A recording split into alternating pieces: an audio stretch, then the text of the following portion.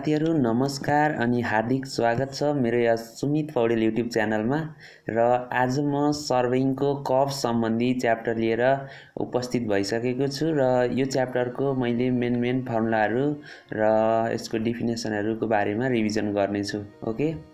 Cups भनेको के हो त भन्दाखेरि during the survey of the alignment of project involving road or railways the direction of the line may change for it to be possible for vehicle to run easily along the road or railway track two straight lines are connected by an arc which is known as curve है दुईवटा state लाइनलाई connect गर्नको लागि हामीले एउटा arc use गर्छौँ। त्यो arc भनेको के हो त? कर्ब हो। यहाँ देख्न सक्नुहुन्छ यो होरिजेन्टल कर्ब भयो र यो चाहिँ भर्टिकल कर्ब हो है? र टाइप्स अफ कर्भ हेर्नु पर्दाखेरि एउटा होरिजेन्टल कर्भ हुन्छ र अर्को भर्टिकल कर्भ हुन्छ। होरिजेन्टल कर्भ भनेको होरिजेन्टल प्लेनमा प्रोभाइड गर्यो भने त्यसलाई हामी होरिजेन्टल कर्भ भन्छौँ। यसमा चाहिँ हामी डिरेक्सनको मात्रै कुरा गर्छौँ। भने भर्टिकल कर्भ भनेको चाहिँ curve provided in vertical direction अथवा भर्टिकल प्लेन एन्ड यसमा चाहिँ हामी ग्रेडको कुरा गर्छौँ है त भर्टिकल कर्भमा यो जुन छ यो चाहिँ होरिजेन्टल कर्भ भयो है होरिजेन्टल प्लेनमा छ नि त। र यसले यसमा चाहिँ डिरेक्सन मात्रै चेन्ज भएको छ है। र अर्को भनेको यो भर्टिकल कर्भ भयो। है यसमा के भएको छ त ग्रेड ग्रेड भनेको हामी स्लोपलाई ग्रेड भन्छौँ र ग्रेड चेन्ज भए त्यसलाई भर्टिकल कर्भ भन्यौँ। है त्यसपछि टाइप्स अफ होरिजेन्टल कर्भको कुरा गरौँ। होरिजेन्टल कर्भ दुई टाइपको हुन्छ। एउटा सर्कुलर कर्भ र अर्को ट्रान्जिसन कर्भ सर्कुलर कर्भ पनि सिम्पल कम्पाउन्ड रिभर्स है। सिम्पल भनेको चाहिँ एउटा मात्रै सिङ्गल रेडियस भएको भयो। कम्पाउन्ड भनेको दुईवटा डिफ्रेन्ट रेडियस भएको कर्भ युज गऱ्यो भने हामी त्यसलाई simple circular sorry compound circular curve भन्छौँ र एउटा रेडियस फरक फरक अथवा सेन्टर चाहिँ अपोजिट डिरेक्सन भयो भने त्यसलाई हामी रिभर्स कर्भ भन्छौँ। त्यसै गरी ट्रान्जिसन कर्भ भनेको चाहिँ एउटा स्ट्रेट लाइन र अर्को सर्कुलर कर्भ छ भने त्यो दुइटालाई जोड्नलाई हामी एउटा कर्भ युज गर्छौँ। त्यसलाई ट्रान्जिसन कर्भ भन्छौँ र ट्रान्जिसन कर्भ चाहिँ cubic parabola cubic spiral lemniscate यो तिनवटा युज गरिन्छ। ओके त्यसपछि टाइप्स अफ भर्टिकल कर्भको कुरा गरौँ। भर्टिकल भर्टिकल कप्स चाहिँ दुई प्रकारको हुन्छ। एउटा समिट कप्स र अर्को भ्याली कप्स समिट कप्स भनेको चाहिँ यसको समिट जुन यस्तो चुच्चो छ नि यो जुन यहाँ मैले देखाइरहेको छु यो बस भएको यो कार भएको पोर्सन चाहिँ समिट भयो। है यसलाई हामी समिट कर्भ भन्यौँ। अब भ्याली कर्भ भनेको चाहिँ यसरी डाउन भएको के ग्रेड चाहिँ डाउन हुँदै गयो। डाउन भएर फेरि अप है यसलाई हामी भ्याली कर्भ भन्छौँ ओके? त्यसपछि अब हामी इलिमेन्ट्स अफ सर्क सिम्पल सर्कुलर कर्भको कुरा गरौँ। सिम्पल सर्कुलर स कर्भमा सपोज टी वान बी भन्ने एउटा स्टेट लाइन छ ओके? अनि अर्को भनेको टी टू बी भनेको अर्को स्टेट लाइन छ। अब यो दुईवटा स्टेट लाइनलाई हामीले के गर्ने हो? कर्भले जोड्ने हो ओके? र यी दुइटाको जुन इन्टरसेक्सन छ यसलाई यो बी भन्ने पोइन्टलाई हामी पोइन्ट अफ इन्टरसेक्सन भन्छौँ। त्यसपछि डेल्टा भनेको डिफ्लेक्सन एङ्गल हुन्छ ओके? जुन फिगरमा देखाइएको छ यो एङ्गल भनेको डिफ्लेक्सन एङ्गल भयो। त्यसपछि जुन टी वान र टी टू जोडेर हामीले कप बनायौँ यो नै हाम्रो सर्कुलर कप हो। T two T one T two भनेको चाहिँ यसलाई हामी लङ कट भन्छौँ है? यो एङ्गल डेल्टा बाई टू भयो यो angle delta by two okay? E भनेको जुन फिगरमा देखाएँ यो भनेको एपेक्स पोइन्ट हो र टी वान बी भनेको हामी टेन्जेन्ट लेन्थ भन्छौँ। टी वानदेखि बीसम्मको डिस्टेन्स यसको formula R tan delta by two हुन्छ। त्यसै गरी टी एफ टी टू भनेको एफ भनेको यो फिगरमा देखाएको छ T one F T two भनेको कड लेन्थ हो है? अथवा लेन्थ अफ लङ कट पनि भन्छौँ। यो भनेको two R sine delta by two हुन्छ।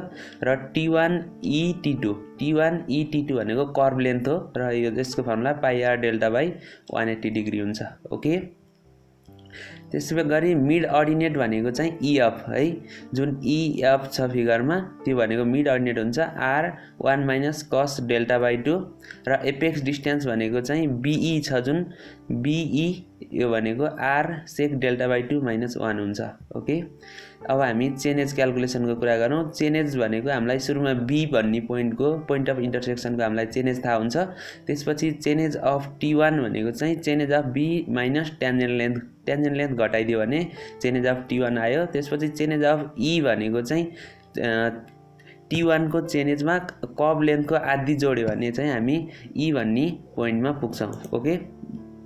त्यसपछि चेनेज अफ टी टू भनेको चाहिँ यो टी वानको चेनेजमा टोटल कब लेन्थ जोडिदियो भने चाहिँ हामी टी टूको चेनेजमा पुग्छौँ ओके? त्यसपछि इलिमेन्ट्स अफ भर्टिकल कर्भको कुरा गरौँ। भर्टिकल कर्भमा एउटा हामीसँग फर्स्ट स्टेट लाइन भयो अनि सेकेन्ड स्टेट लाइन भयो र अब यी दुइटाको इन्टरसेक्सन जुन छ यसलाई हामी point of vertical intersection PVI भन्छौँ। त्यसपछि बिभिसी भनेको बिगिनिङ अफ भर्टिकल कप र इभिसी भनेको चाहिँ इन्डिङ अफ भर्टिकल कप भन्छौँ हामी। र यी दुइटालाई जुन जोड्यो यो भनेको भर्टिकल कप भयो ओके? र यो बिबिसी र इबिसी जोड्ने जुन ग्रिन कलरको स्टेट लाइन छ यसलाई हामी लङ कट भन्छौँ।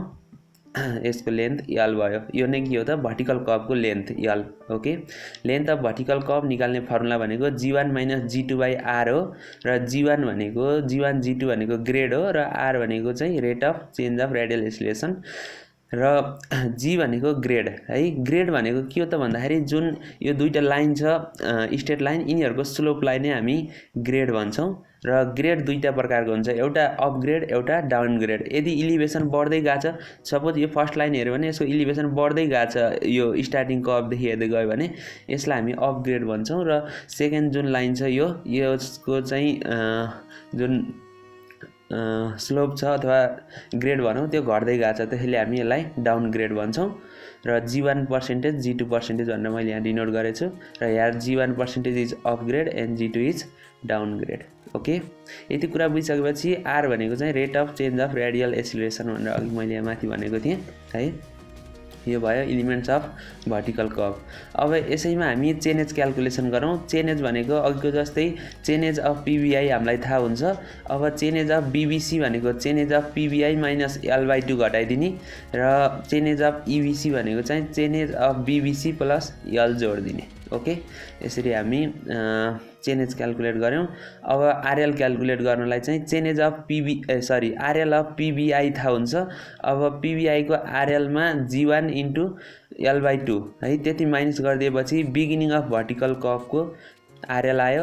र अब इन्डिङ अफ भर्टिकल कपको आरएलको लागि चाहिँ आरएल अफ पिबिआईमा एल बाई टू घटाइदिने तर जीवानले मल्टिप्लाई गर्नु पऱ्यो किनभने दुइटाको जीवान र जी टू ग्रेड अनुसार टेन्जेन्ट लेन्थ फरक आरएल चाहिँ फरक फरक पर्छ okay?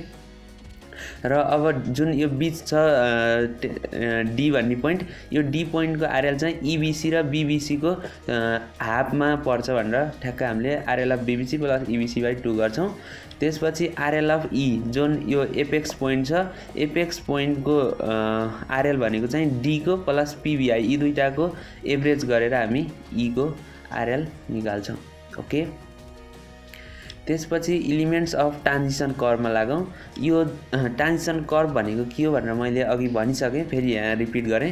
Curve introduce between straight line and circular curve. यो जुन सर्कुलर कर्भ छ रेड कलरको र यो जुन ब्लु कलरको स्टेट लाइन छ यो दुइटाको बिचमा फेरि हामी अब एउटा नयाँ कर्भ इन्ट्रोड्युस गर्छौँ। किनभने यो यहाँबाट ग्रेजुअल्ली जुन ग्रेड छ यसलाई चाहिँ बिस्तारै बढाउनको लागि र भेकललाई स्मुथली स्मुथली मुभ गराउनको लागि हामी एउटा नयाँ कर्भ इन्ट्रोड्युस गर्छौँ। त्यसलाई हामी ट्रान्जिसन कर्भ भन्छौँ। त्यसको लागि हामीले जुन यो सर्कुलर कर्भ छ यसलाई हामी सिफ्ट गर्छौँ यस डिस्टेन्सले र सिफ्ट गरिसकेपछि एउटा नयाँ कर्भ बनाउँछौँ जुन यो ब्ल्याक लाइनको डट डट कर्भ भयो यसलाई हामी ट्रान्जिसन कर्भ भन्छौँ। यसले स्टेट पोर्सन र सर्कुलर पोर्सनलाई जोड्ने काम गर्छ।